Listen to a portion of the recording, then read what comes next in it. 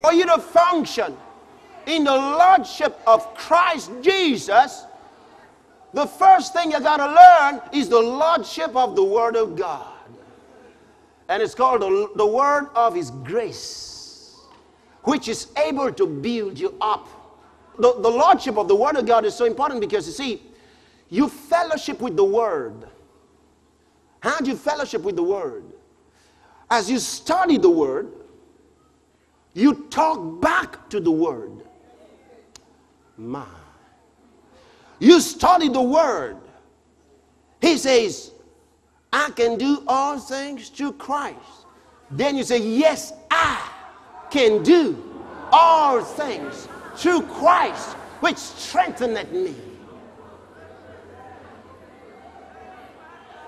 You know, I told you a long time ago to notice that he didn't say through Christ who strengtheneth me. He said through Christ which strengthened me. And there's a reason he said through Christ which strengthened me. Because he was not talking about the person of Christ, he was talking about the anointing of Christ. That's why he said through Christ which energizes. He's talking about the anointing of Christ, which energizes me which strengtheneth me. The anointing. The anointing. The anointing. Hallelujah. Hallelujah. So you fellowship with the word. You talk the word. You're in your room, not only reading it, you begin to mutter it. He says, meditate upon these things. That means talk them under your voice. Then it says, talk them back to yourself. Then it says, talk them to God. Then you begin to shout it. But you're all alone. If you can shout it in your room, one of these days you're going to shout it on housetops. Are you hearing me? All things work together for good. And you're, you're alone inside your room. All things work together for good. That means all things are functioning together, they are cooperating for my good.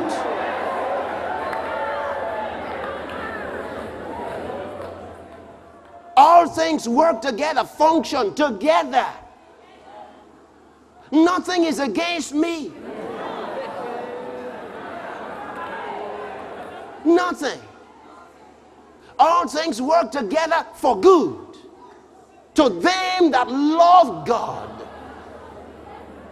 And I love God.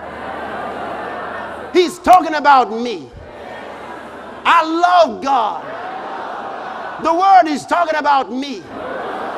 He says, All things work together for good to them that love God. And that means me because I know that I love God. Therefore, all things work together for good to me.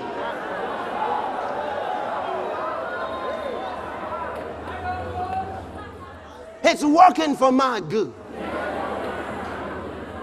Somebody said, I hate you. That is a Ray, it's working for my good.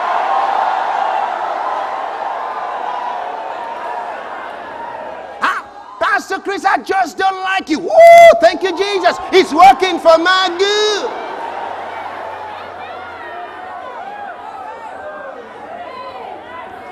See, I cannot be disadvantaged. It's working for my good. All things work together function together. They are taking their place. Do you understand? They are all cooperating together for good to them that love God. That means me. He's talking about me. I said, He's talking about me. The word is talking about me all things work together for good. That means for my advantage. Thank you, Lord Jesus. See, see, I'm fellowshipping the word. Now I said, I have got to tell you something. He said, I commend you to God and to the word of his grace, which is able to build you up. The word, now he didn't say, I commend you to God and to the word, which is able to build you up. He didn't say that. The Bible says all scripture is given by inspiration of God and is profitable for doctrine, for reproof, for correction, and for instruction in righteousness. Instruct, yeah, yeah. Do you understand what I'm talking about, brother? Instruction in righteousness. That means it's an instruction manual. Better find out exactly what it says. Because He's given you instructions for the righteous life. It's called the, right, the life of righteousness. He says, instruction in righteousness, in the life of righteousness. What does it mean by the life of righteousness? It means the God life. You understand? It's a life of success, prosperity, and victory. Now, listen again. He says, I commend you, Acts chapter 20, verse 32, I commend you to God and to the word of his grace. Now, remember, he said to Joshua, This book of the law shall not depart out of thy mouth. Then John lets us know something very vital. When you study in St. John's Gospel, chapter number 1, from verse 14, he says, The Word became flesh. The Word became flesh. The Word became flesh. Oh! The Word became flesh and dwelt among us. John says, and we beheld his glory. The glory of the only begotten of the Father, full of grace. Full of grace. Joshua didn't see that, brother. Moses didn't see that. You know what happened? Let me tell you something about Moses. One day, Moses, after he had walked with God so long, he said, Oh God, show me your glory. Show me your glory. Because he read the law. He didn't see the glory in that law, but the glory came upon him. He saw the life he saw that glory, but all he saw was just the light of God. He hadn't seen something about the glory of God. It's called the greater glory. I, see, I, I don't have that time tonight, but it's called the greater glory. That's what Moses wanted to see. You know, the Bible says that Jesus performed the first miracle in Cana of Galilee where he turned water into wine and there manifested forth his glory. All right? That's not the big glory. Turning water to wine is not all of the glory of God. He actually said to the disciples, You're going to see greater things. See, there is a greater glory. And that's what Moses wanted to see. Because when the law came to Moses, the glory of God came on him. So much so that the Jews ran away from him as he came down the mountain. But that was a little glory. So he said, Oh God, show me your glory. I want to see the big thing. Show me your glory. And God said, Moses, you want to see something big? He said, You die. You die. He said, Lord, nevertheless, show me your glory. God said, All right, here's what I'm going to do. You can't see my face. You see my face, boy, you roast. Said, All right. So he said, Lord, just show me your glory. I said, All right. I'm going to hide you somewhere and pass. You know what he said? He said, I'm going to let my goodness pass.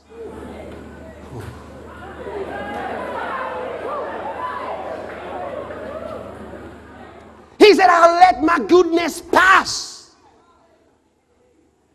Then you will see my hind part. Why didn't Moses see the face of God? Because he couldn't. Why? Those who walk in the law cannot see the glory of God. He could not see the goodness of God. That's the big thing about God. The trouble is that when that thing shows up, it's not what you thought. Do you understand? Why didn't he show it to Moses? Because if Moses saw it, he'll die. Why would he die? I'll tell you why. I'll tell you why. Not because he'll be consumed by the fierceness of God. He'll be consumed by how small he would think God is. Oh.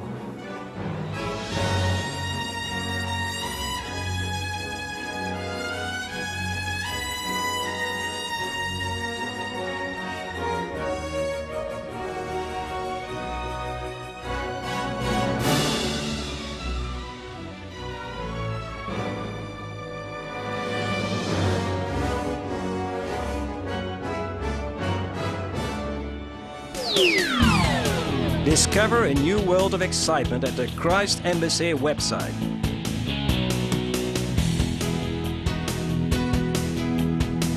Log on today at www.christembassy.org. You've seen these exciting teaching series from the Charismatic Renewal Conference with Pastor Chris, but here is your opportunity to own it on video. The Charismatic Renewal Conference is now available in video and audio tapes. In a, in world, there are laws. In the first dimension, there are laws. In the second dimension, there are laws. In the third dimension, there are laws to function with. In the fourth dimension, there are laws, principles of faith. In the fifth dimension, there is only one law. And it is not seen in that realm as a law, it is seen as a simple principle the principle of love. Hallelujah. It controls everything. At that level of life, you are not dealing with sin. At that level of life, you are not dealing with needs. At that level of life, you're not dealing with wants. At that level of life, you own the world. You Don't miss this opportunity to take this conference right to your doorstep. Call today and place your order by calling the numbers now displayed on your screen or online at www.christembassyonlinestore.org. everything is all right. Available in audio and video tapes, audio and video CDs. It shows you who you really are, where you really are, what really belongs to you. Can you shout? When he saw the lightnings and the thunderings, he said, God is great. When God stepped on Mount Sinai, the Bible says it burnt with flames. With the breath of his nostrils. There was a blast in the, the Red Sea. It split wide open. Now you think if we saw God, there'll be so much fire. Boy, if we saw God. Moses said, Show me your glory. God said, No, no, no, no. So I let my goodness pass. Now show you my hand part. He said, All right. And then the Lord passed by. Now listen. Listen to what John said. We beheld his glory. The glory of the only begotten of the Father,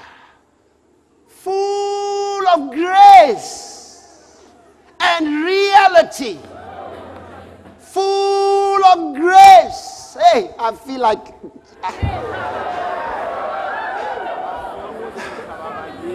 If I wish I, I wish I'd been in my room. I would scatter everything I'm wearing now. Full air. He said, We beheld his glory, full of grace. Of grace. What is grace? Grace is the awesome beauty of God. Grace is the goodness and the kindness of God. Grace is the loving tenderness of God. Far removed from wickedness and falsehood.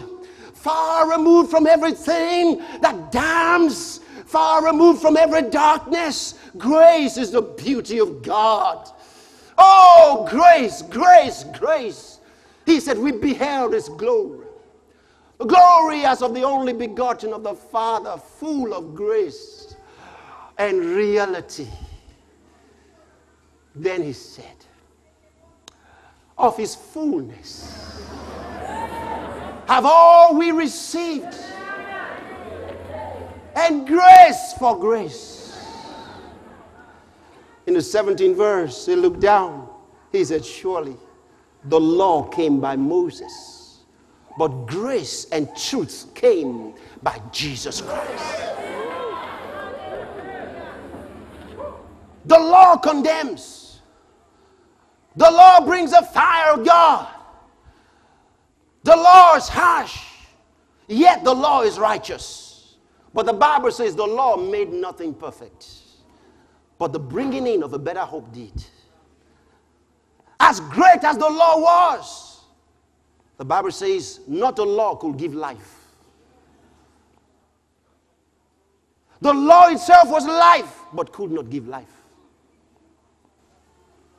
The law came by Moses, but grace and truth came by Jesus Christ. Grace and truth, truth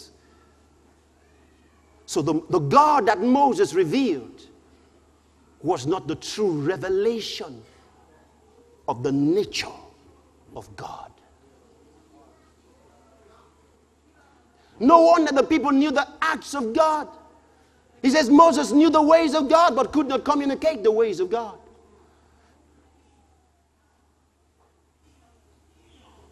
Then came Jesus. He says, Grace and truth Grace and truth. Grace and truth. Who is God? Never in the Old Testament did they know that God was love. They didn't know that. But over in the New Testament, John cries out, God is love.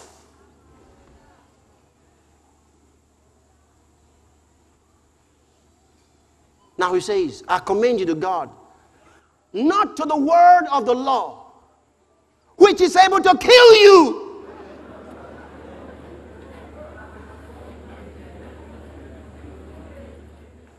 But do you know that's what a lot of Christians are preaching? The word of the law, the word of his judgment. They're not preaching the word of his grace.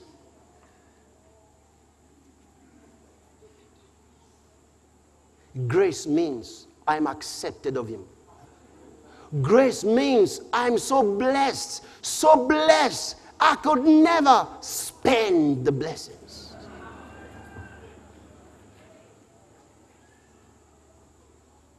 Grace means I am connected to Him.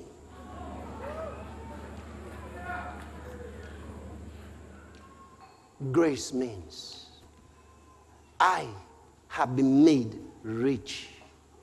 He says, For you know the grace of our Lord Jesus Christ. For though he was rich, for your sakes he became poor, that he through his poverty might become rich. How shall we escape if we neglect so great a salvation? How shall we escape how will you escape the damnation of hell? Without grace as great as this, where a man is accepted without his works. How will you escape?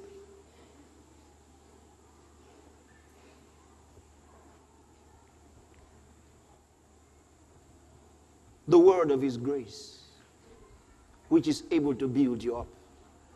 Grace. Grace. Somebody say grace. grace. Say it again, grace. grace. One more time, grace. grace. Grace. Grace. Grace. Grace. Grace means that I'm surrounded with His love. Grace means I am the focus of His love plan. Listen, I am the object of His love. That's what grace means. That means I've come to know that the sun, the moon, the stars, and the planets were made because of me.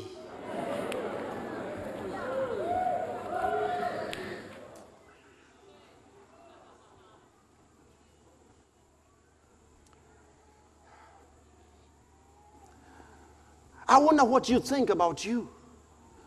What do you think about you?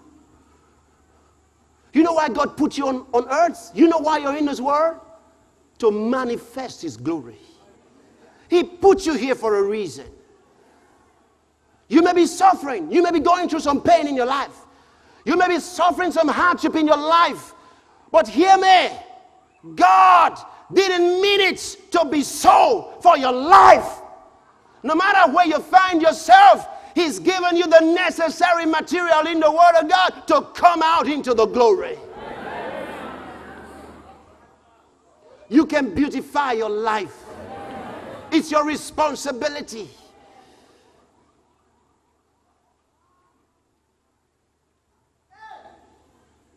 Somebody looked at the mirror. She stood there, looked at herself in the mirror, and started crying. She said, I hate myself. I hate myself. I just hate myself. I just hate myself. I feel sorry for you. You know why? Because there are many people in the world to help you multiply that hate for yourself. There are a lot of people who don't see any reason why you should be happy about yourself. There are a lot of people in the world who are ready to help you hate yourself. You already dislike yourself anyway. You say, I wish I would just die. I say, it's true.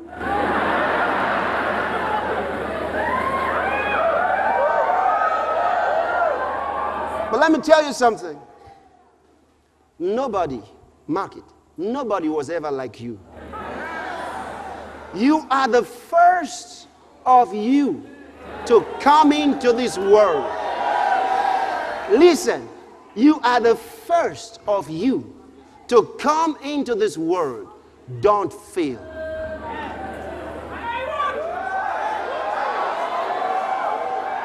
You are the only one of you that God has. He's never had anybody like you. He doesn't have another one like you. He will never have another one like you. Don't fail. Don't fail. Refuse to fail.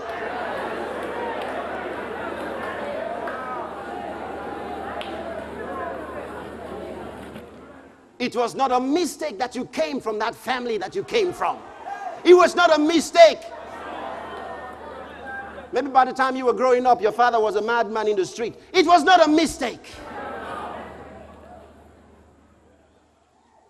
There's something. There's something about your life. I heard a story one time. Let me tell you about a story I heard one time was a story about Winston Churchill. How that he picked a little boy up who was hopeless and homeless. He picked that little boy up and trained him, sent him to school. His father, actually, Winston Churchill's father, picked the little boy up. His father. And trained that little boy.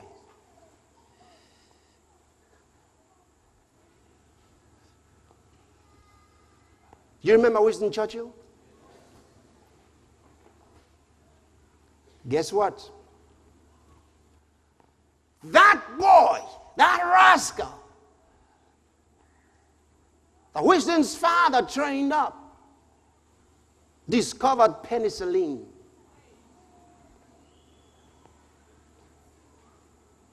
And one day, years later, when Mr. Churchill was sick and required penicillin injection, it was this guy's work that saved his life. But his father never knew that one day the little boy that he picked up would discover penicillin. Why did I tell you that? That boy was a nobody. But when he picked him up, he didn't know this was the savior of his son's life. Every day, God places around us. Listen, you are something. Do you understand what I'm telling you? If only somebody could discover the gold mine in you.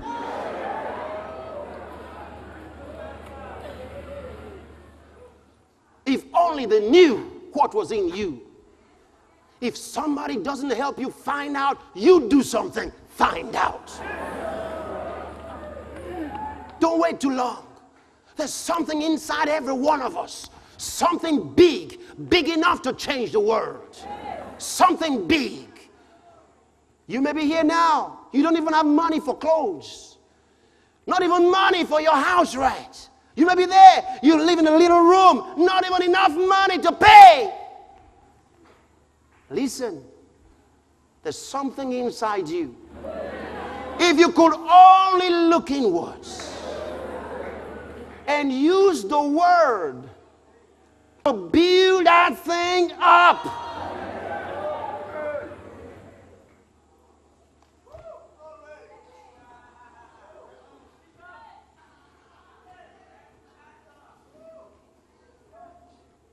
Let me hear you say, I'm on my way, I'm on my way, I'm on my way, I'm on my way, I'm on my way.